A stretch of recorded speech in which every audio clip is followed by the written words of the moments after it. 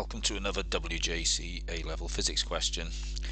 This one was requested by somebody on YouTube and they wanted to go through the Unit 3 2017 paper question 4. Now the first part of the question says heat is applied to an ideal gas in a sealed container of fixed volume. Explain carefully the physical processes that cause an increase in the temperature and the pressure of the gas and this was the 6 mark QER question from that year. So how about we start with the first law of thermodynamics which is Q equals delta U plus W. In that equation W is the work done either well technically by the gas but could be on the gas as well if we've got a gas that's decreasing in volume. The important point is, because in this question the volume is fixed, we know that W must be equal to zero. So Q, the heat supplied by the gas, is equal to delta U, the change of internal energy of the gas. Now it's important that we're clear in our minds exactly what we mean by internal energy. And internal energy U is defined as the sum of the potential and kinetic energies of the molecules. So let's just write that down.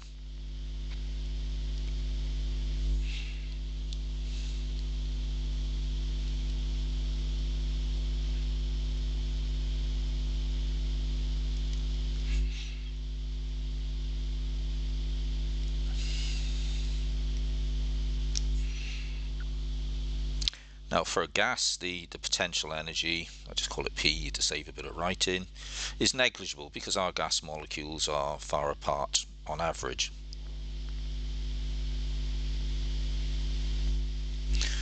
So what this basically means is that Q here is going to be leading to an increase in the kinetic energy of the molecules.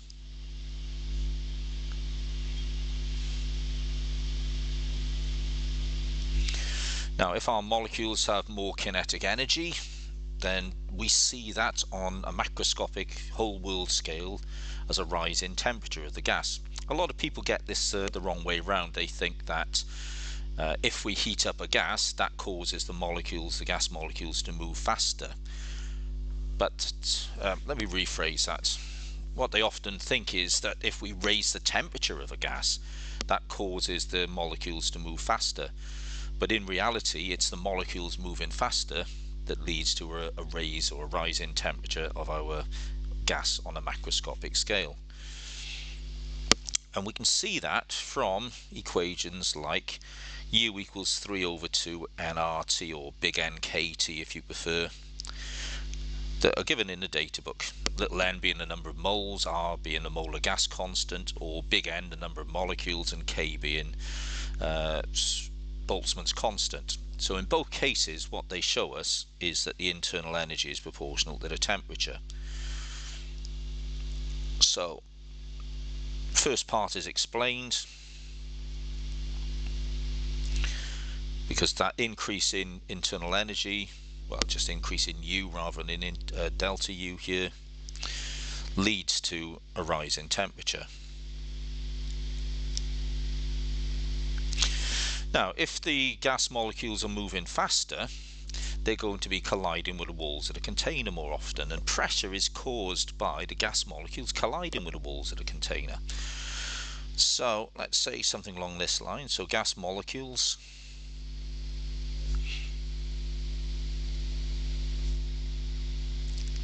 collide with container walls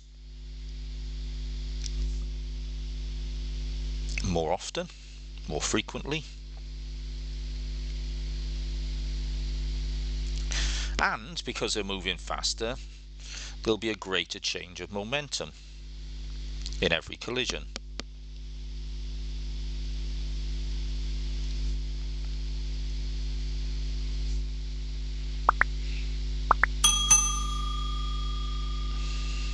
So in simple terms the gas molecule is going to head towards the wall with a momentum mv it's going to bounce off the wall of the container. Remember that one of the assumptions of kinetic theory is that these uh, collisions are elastic.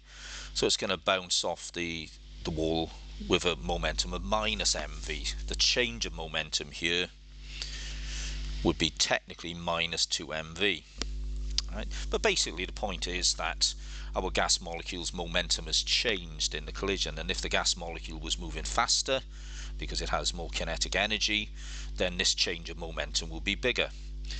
Now Newton's second law which we can abbreviate to N2 tells us that resultant force is rate of change of momentum.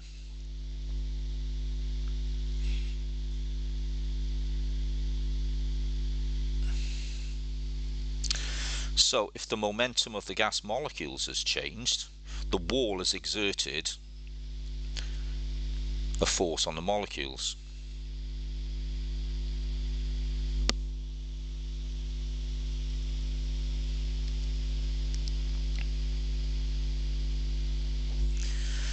And from Newton's third law, that means that the molecules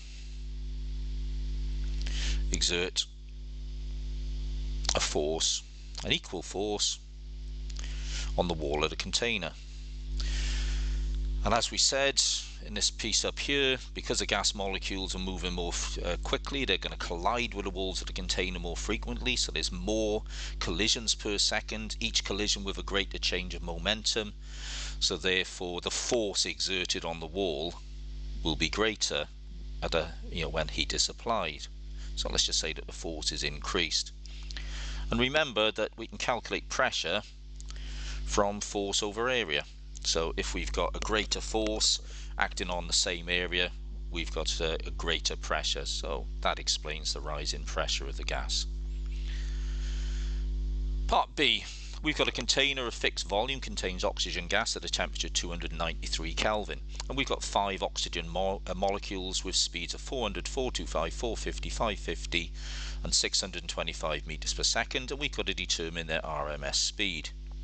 Well the root mean square speed RMS literally means it's the square root of the means of the squares of the gas molecules.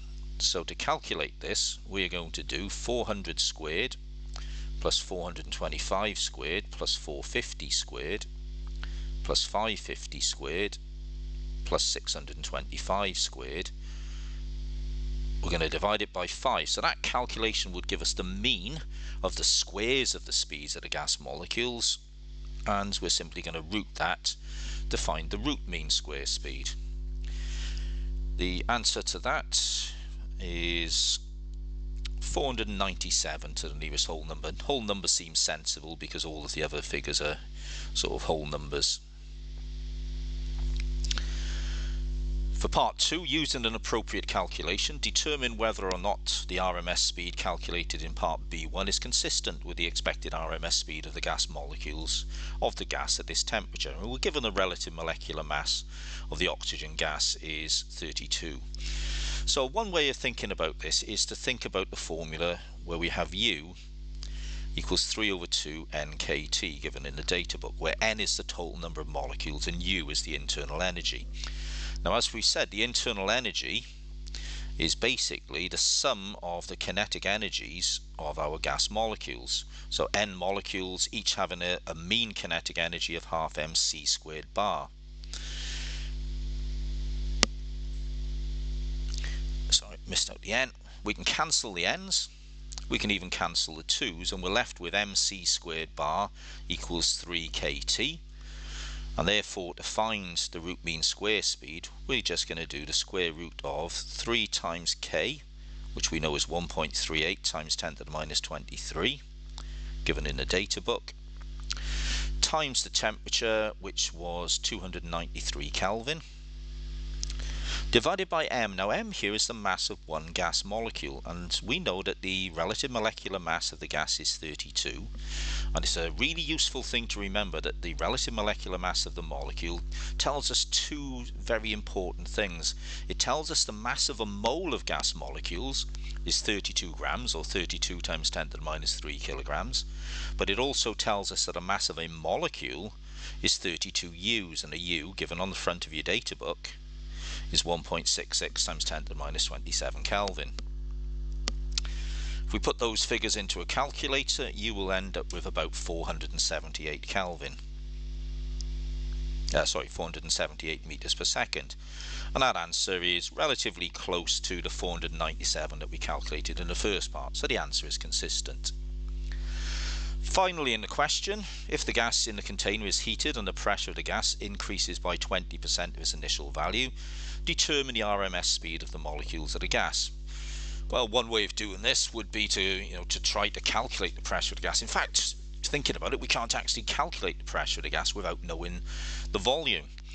So instead, we're going to look at the equation given in your data book, P equals one third rho C squared bar, where rho is the density of the gas.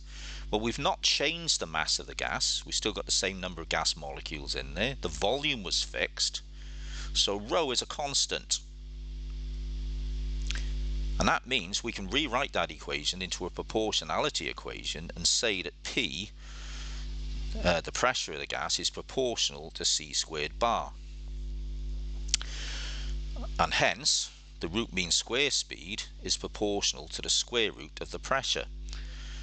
So our new root mean square speed is going to be calculated by, well, if we think about a 20% increase in pressure, we've now got 120% of the original pressure, or the original pressure times 1.2. So what we're going to do is we're going to square root 1.2, that 120%, multiply it by the original root mean square speed of 478 meters per second, and that will give us an answer of 523 meters per second. So neatest way of doing this by far is a bit of proportionality. Okay, I hope everybody found that useful. If you got any comments, feel free to leave them below. And please remember to like and subscribe. Goodbye.